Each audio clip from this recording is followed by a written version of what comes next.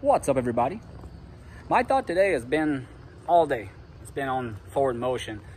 Um, I was watching Alex ride this morning and he was, you know, working the shoulder, working the body, using his hands and his legs the way we all do. And he was doing the right thing and it's all good. But, eh, eh, but sometimes we, we, uh, we get into this vicious circle of just, you know, pulling and release and pulling and release on our horses without, and forget a little bit that you know, that to go someplace and, and, and have a destination in mind, a goal in mind. I think that that is the difference between training a reining horse and and and, uh, and a cow horse, for instance. And and every time that I'm, a, I'm around cow horses and cow horse riders, I mean, when I came back from the world's greatest horseman, spent a couple of days there. When I came back from there, I mean, I wasn't worried about you know about so much about collection rather than where I want to go and, and, and, and how I'm going to get there. And that's made a big difference in my horses. But I mean, I do, I do, you know, you know, spend a lot of time in working and developing my horses physically so that, you know, not only they get there and, uh, but I want them to get there, uh, you know, in the fanciest, most effective way possible. And so I think that's just part of the training.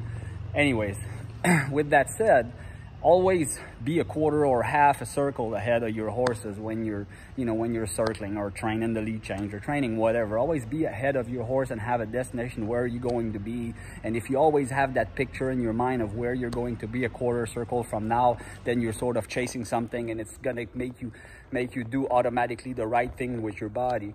Uh, second uh, is is whenever I, I, I see people or I'm teaching somebody um, and, and they're working the, the horse's position in the circle, for example, and I say, okay, so now do a lead change. When all of a sudden, when I ask them to do a lead change, all of a sudden then there's there's an increase in use of their leg and seat and, and everything. Everything changes. All of a sudden they're riding, they're pushing the horse forward. And I tell them, I said, see what you're doing right there? This is what you should be doing every stride when you're riding your horse because the rest of the time you just wasted your time pretty much and just, you know, uh, uh, uh pulling in their face and without really doing the right thing with your body. So I always remind uh, uh, my help whenever he's riding around or remind myself when I'm riding around and circling. I'm like, okay, well, as soon as I have my horse in the position that I want, then I do something with it.